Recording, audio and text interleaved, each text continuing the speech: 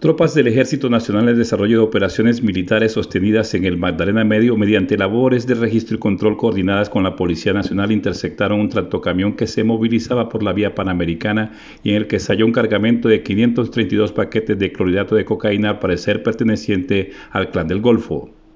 Este alcaloide estaba oculto en una tractomula o tractocamión que realizaba la ruta hacia la costa caribe. Estos hechos se dieron en la autopista panamericana, en Cimitarra, Santander, y este vehículo venía desde la costa pacífica.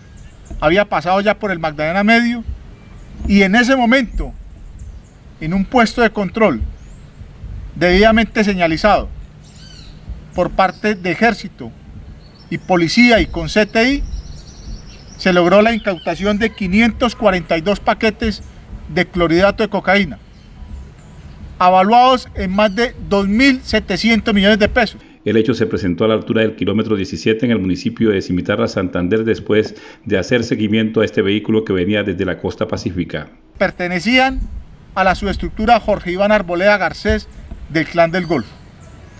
Esta droga estaba oculta en un falso fondo de el tráiler de esta tractomula.